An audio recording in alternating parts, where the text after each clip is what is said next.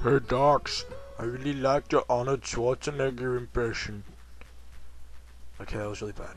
But yours was good. I really liked it. Um, it was actually a really funny video. Uh, I was literally laughing out loud through the whole thing. I'd like to see more uh, actors, such as Arnold Schwarzenegger. Um, might even bring in, you know, like some Michael Jackson.